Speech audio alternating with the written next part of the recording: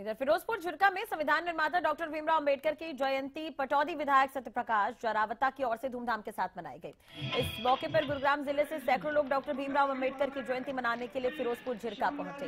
इस दौरान लोगों में डॉक्टर भीमराव अंबेडकर की जयंती के लिए काफ़ी उत्साह दिखाई दिया। वहीं पटौदी विधायक सत्यप्रकाश जोरावता ने डॉक्टर भीमराव अंबेडकर की मूर्ति का अनावरण किया। इस मौके पर लोगों ने पटौदी विधायक का धन्यवाद भी किया।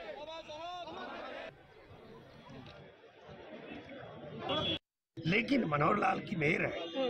माननीय मोदी जी का नेतृत्व है। आज यहाँ पर काम होने लग रहे आपका मुंबई एक्सप्रेस उधर से भी निकाल सकते थे लेकिन मेवात के डेवलपमेंट के लिए उसको यहाँ से दिया गया है। उसका एक्सेस यहाँ से। आप देखेंगे और उसका दो ही एक्सेस है नूह और फिरोज वज़ीर का। ये मेवात की आने वाली जनरेशन को उनके डेवलपमेंट को उनको व्यापार को उनके काम धंधे को उनके जमींदार उनकी तकदीर और तस्वीर इस बड़ौदा एक्सप्रेस से बदलने वाली देखिए, सर्व समाज के जो सबसे बड़े व्यक्ति बाबा राव, भीमराव अंबेडकर जी, जिनकी आज जयंती है, इस जयंती से अच्छा अवसर कोई उनकी प्रतिमा का हो नहीं सकता था।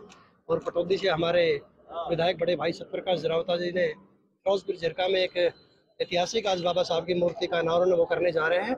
और उसी कड़ी में बहुत बड़ी संख्या में मणेश्वर नगर निगम के भी अपने युवा साथी वहाँ मिलकर पहुँच रहे हैं।